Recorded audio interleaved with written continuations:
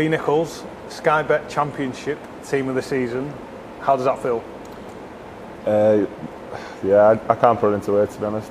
Um, it's it, I didn't. It's not something I thought about at the start of the season, but you know I've worked hard this season, and um, yeah, I couldn't be happier.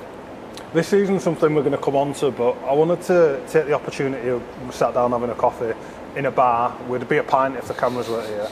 Um, to talk about your career as a whole because it's a, an interesting path you've been on. Uh, is it right in thinking you started as a midfielder when you were at Liverpool and then actually went into net later on? Yeah, no, th- th- this was when I was a kid.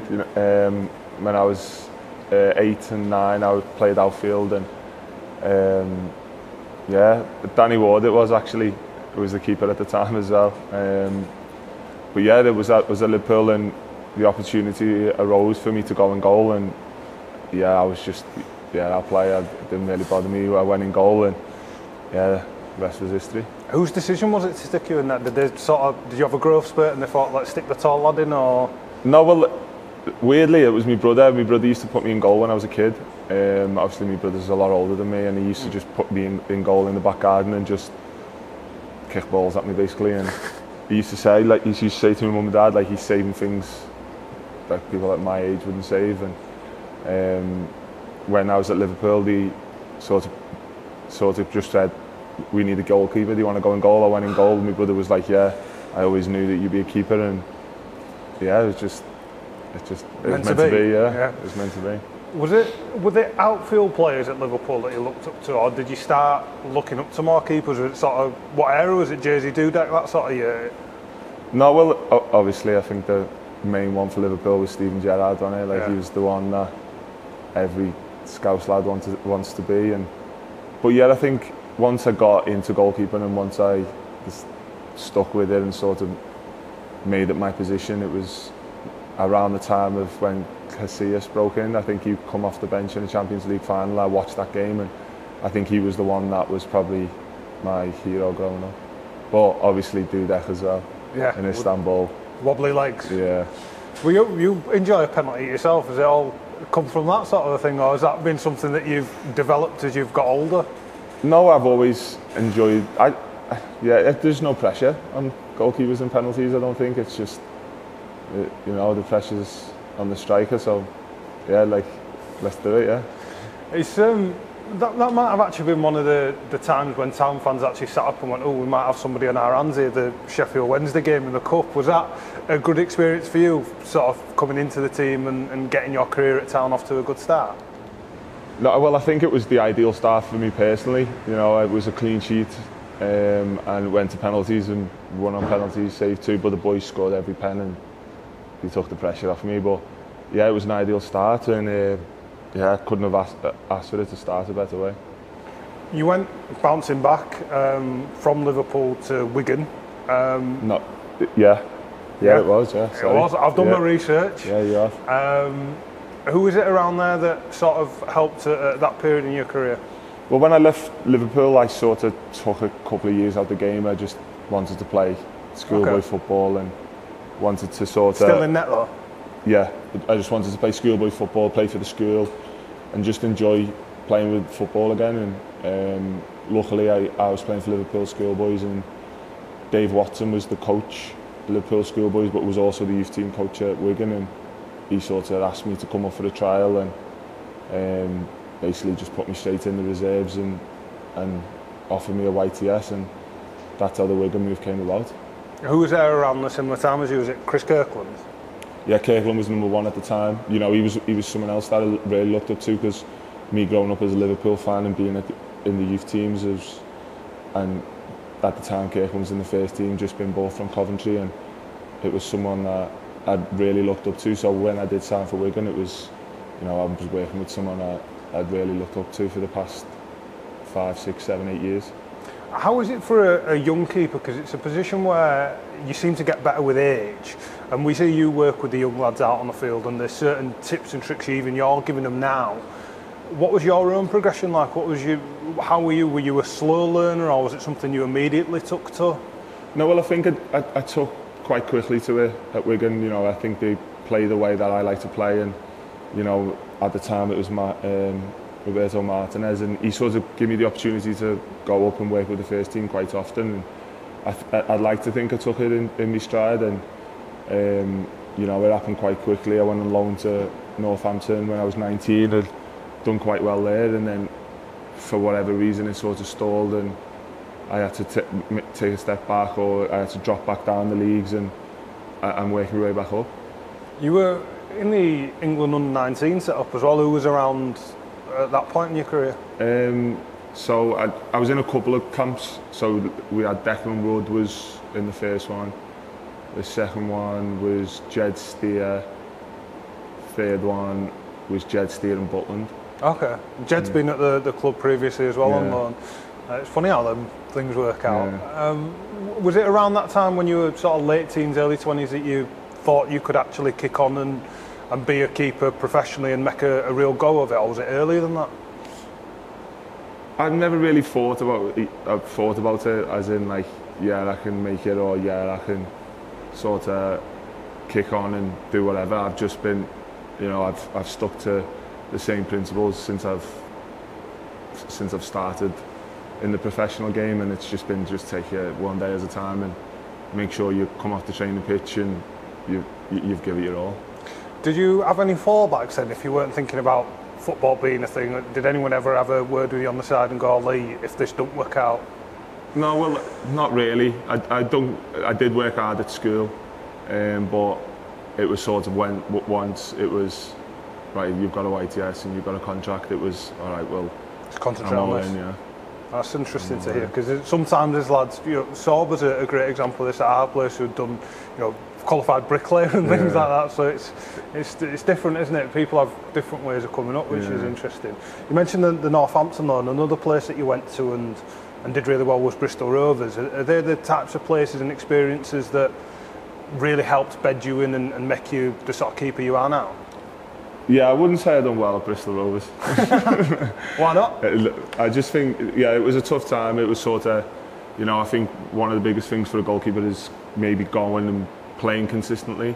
And I think I went in the middle of the season and I sort of went down there and like sort of just got thrown in at the deep end and I maybe didn't take it as well as I should have. And um, yeah, it, that's probably one loan that maybe got away from me that I would have liked to have got back and gone. But listen, it's football. I probably learnt more than I did from that loan than I did at Northampton, where I done really well and we got the playoff final. But that's just football and it, it's it's about learning from their experiences.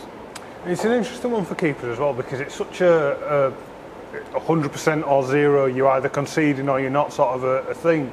How do you have to rationalise things? Because it's even in training, the lads are rattling things top bin, and, and you've got to you can't get your head down and stuff, and especially as a young keeper, how do you have to rationalise that and see you getting better or manage your progression?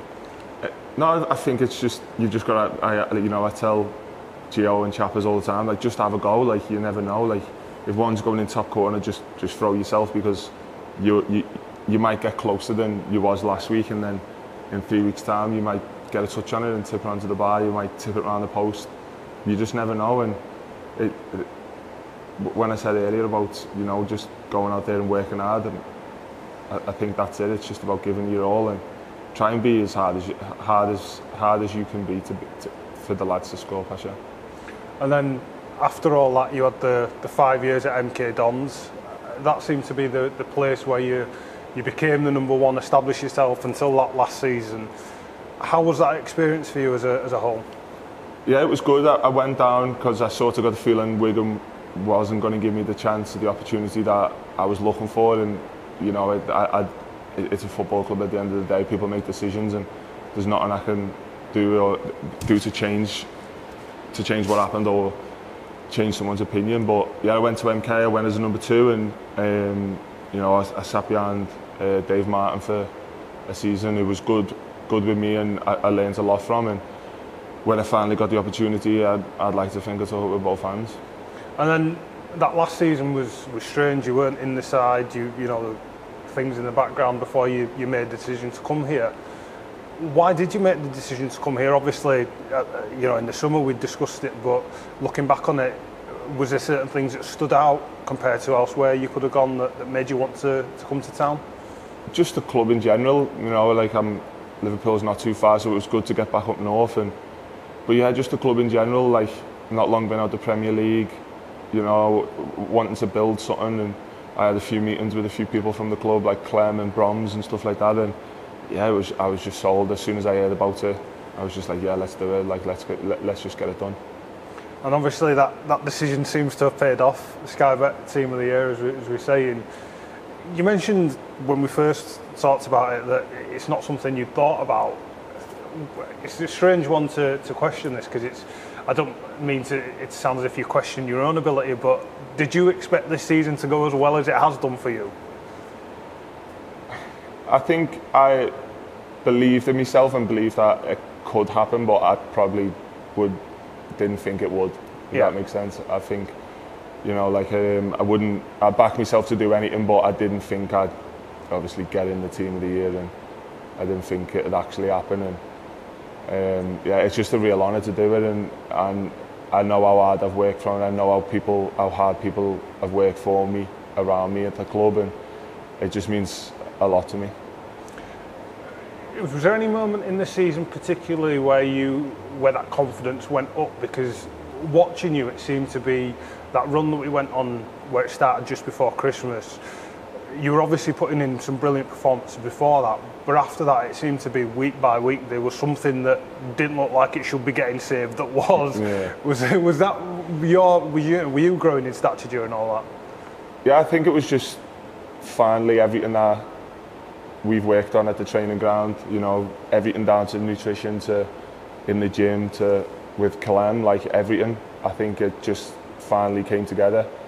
Um, you know, we were putting in solid performances and um, we, we, we kept saying, me and Clem in meetings, like, like we're playing well, we're playing well, but we just haven't made that save yet where you're like, all right, like, like, like we're there now. And then obviously they started to come and it from then on it was just about consistency, about just carry on doing what we're doing and and, and basically don't don't let up on the gas. A fair few of them saves in your back pocket now. Are there any that stick out for you especially? Are there any favourites or ones that you've Um, been especially proud of? I think I think yeah the one Sheff United's got to be the one. I think you know if, late on in the game nil nil, keep the run going and get a point for the team. How does a save like that come around? Obviously, we, you know the work you do on the training ground. How much of it is instinct compared to reading the situation, or is it just one of those things in the moment where you you have to just react? No, I think if you look at it, I think you know, like I work quite hard to see where the ball is, and I, I'm looking around people, looking through people, and I just want to see the ball leave his foot. That's all I'm trying to do, and and you know that's something that me and Clem have worked on, like which is something so so small, and it's something that Clem's worked on with me, and and then the feet, then the power that comes from Dan, and then me being six kilograms lighter from there, just all come together and we've managed to tip it onto the post. Is that something that is- is- gives you some sort of validity to all the work you've been doing when you have a moment like that, when you can watch the clips back and you kind of go, okay, this is worth the, the diet that I'm on now, worth the, you know, Clem putting me through ringer every day at Canalside. Is- When that happens, you kind of go, okay, there's a bit of method to this madness. Well, but to, to be fair, like I think me and Clem knew that it had started to come together because we were seeing it on the training ground. Yeah. Like I, I felt myself being quicker, being more explosive, and um, it was just to do it in a match. It was sort of like we already knew that it was it was there. It was just about getting Yeah. getting one out in a in a match. It's an odd one, isn't it? Because you'd almost think that when you were a younger lad, you'd have that quickness and explosiveness. So you're 29 going 30 now and you, you're entering your prime. It seems to happen with keepers. Why do you think that is? Is it kind of, you've got the the theory of what being a goalkeeper is, that knowledge of, like you say, watching the ball come off the foot, all that sort of thing, all those years of experience behind you. But you've also now got the, the physicality to match into that. Yeah, I think people just maybe need games. I think as a goalkeeper, I think getting. I, I don't think as a young goalkeeper you realise how important having 200, 150, 200 games under your belt matters, and um, but it does matter ultimately. Like, everyone talks about it in football, and there's a reason for that, and I can definitely back it up that I'm a lot better now because of because of the experience I've had in my career. One thing on that that, that you kept saying the last time we, we spoke after you won your fourth Player of the Month award from the, the club um, was that this time last year I wasn't playing, and that in a, in a weird sort of way you wouldn't have wished it on yourself then, but does it almost make this all the sweeter now that you, you went through all of that then and, and this is the experience you're having this season? Yeah, uh, yeah, definitely. I think it's because of what happened last year, it makes this a lot better. But I think I also think that I wouldn't be doing as well if I was playing last year. I think I learned a lot about myself mentally. If if nothing else, I think I come away from last season and I knew what I had to do. I knew, you know, like like I, yeah, I just learned a lot about me uh, about myself. The one statistic that came up in our Twitter mentions today, I think you saw it as well. Alisson, Ederson, Lee Nicholls is the top two leagues in England, 17 clean sheets. Statistic like that, I've got to blow your mind a little bit. Yeah, yeah, it does. Like, you know, I've had a few people text me about it and stuff, and yeah, I just I just keep replying saying it's it's crazy, know. is it? Are those the things that that make it worth it when sort of your mates and family and stuff are getting in touch and are so excited for you as well? Because it must have been an experience for them to have watched you not playing, coming to a different club, all that sort of thing. So it's a gamble. It might not have gone well mm. here. It, you know, it happens. Yeah. Um, but for it all to have worked out the way it has in this sort of get this sort of accolade, are they as buzzing as you are? Yeah, definitely. I think I think the whole family and every one of my friends are, are buzzing for me. Um, especially when you see things like that, as you say, it's. I think it means just as much as just as much to them as it does to me. How much has it helped you? How well this team has gelled together? Because before we came here, you were at the golf shop with Wardy, and mm. you, you know you you lads are getting on just as well off the pitch as you are on it, and it's not a forced thing. It's not as if somebody's sitting you down going, look you need to be mates with him. It's not school sort of thing. It's just happened naturally. Mm. How much has that helped not just your season, but the season everyone's enjoying? I think it's a massive part of of us as a team. I think it just, you know, you can see it on the pitch. I think everyone fights for each other. I think, you know, you, like you, you look at most of the celebrations. It, there's always people who are on the bench in there, or I think the gaffer put one up. I think it was Redden when Wardy scored his third, and Wardy runs to the opposite corner, but like the, the people that are warming up on the sideline are running around like they've scored themselves and I think it just goes I think it's just a massive part of who we are as a team have you ever experienced something like that at, at other clubs yeah at, at, MK we had a similar sort of thing but it wasn't like as much as this. I think it, this is like something where you retire and you think that was the best dressing room in my career. Um, because I've never been in a dressing room as good as this. You know MK was good but this is this is something different.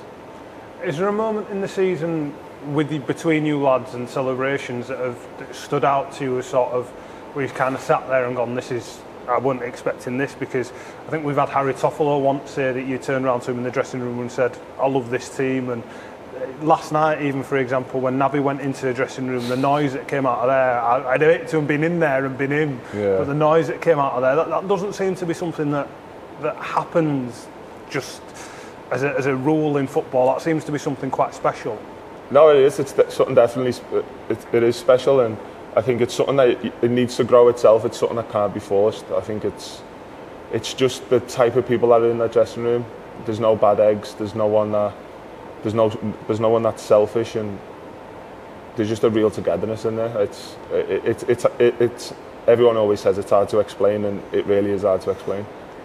Speaking about things that you can't force and have to grow themselves, your relationship with our fan base is, is absolutely brilliant as well. They've taken to you so quickly, and you know we've mentioned the, the Player of the Month award and things. What's that like for you to know that you know they're at your back? You know, the cowshed there, or if we're away, you've got such a, a vocal support and people who are not just willing you to do well, but have such confidence in you. No, it's good. Like I think ever since the Sheffield United game, it was it was almost it, you just let help me settle in. You know, it's just everyone around the around the town when you're walking around and everyone just saying hello and pictures all the time and it, yeah it's just it, it, it is it did just help me settle in so quick and and, and help me perform the way I have. As a northern lad, is that something that is kind of special about clubs up here? The fact that they take you in and, and have you as one of their own, and there is that real family feel to it because I mean no disrespect to elsewhere, but it, it, there is a, an almost a charm to the way that people have kind of taken you under the wing and gone, he's one of ours now. We've taken ownership of him. No, definitely. I think you know this this club's like a family. It, it really is. You know, like as we just spoke about the dressing room, but I think that goes from top to bottom. I think the um, the when we win at the end of the game and we we come together like that's come from the chairman, and um, it just goes to show from top to bottom. There's just a, a real togetherness. Is there, how much do you enjoy sort of the, the little bits of your game that, that the fans have picked up on because there's you know the odd yellow card that you know some people might get annoyed about they find hilarious or you know they back you on and you know some of the back and forth you've had with opposition players that we can't broadcast on here but have been picked up by people in the front rows and ball boys and what have you With they absolutely adore you for it is that is that nice for you that you're just yourself and being yourself has, has earned you so many fans Yeah, like that's just me. I just I just play the way I, I, have, and I always will. I think you know I've I've always been the loud, the, one of the loudest on the pitch, and I like to be heard. So yeah, We're um, a handful of games left this season. Uh, we're having an incredible year. Uh, what's the, the mood like in the dressing room? What what goals have you guys set yourselves? Where are you looking to go this year? I think the obvious one is make playoffs. I think as much as we want to make playoffs, I think we all we all understand we've got to just take it game by game. There's no point in saying, right, come on, we we only need this many left. That's that's what we've done all season. That's what we've stuck by, and that's what we need to do. Just keep on trying to win the next game. I'm going to be slightly cheeky here. Christmas time, there's a World Cup. The people have been half mentioning you. We've said you've been in the under 19s before. They've got to take a squad of keepers. Is it something that even, you know, in the back of your mind you've gone, if I carry on playing as well as this, they've got to, at some point somebody's got to come and watch me and take notice. No, that's not my decision. At the end of the day, if that call comes, then I'll, I'll go running. But I'm just trying to play football. I'm just doing as best as I can for this club. And if something like that did come about, then it would be it, it would be a dream come true. Well, your best this season, Lee, is Sky Bet Championship Goalkeeper of the Year, so you can't do anything like that. Yeah. Congratulations, Ben. Thank you.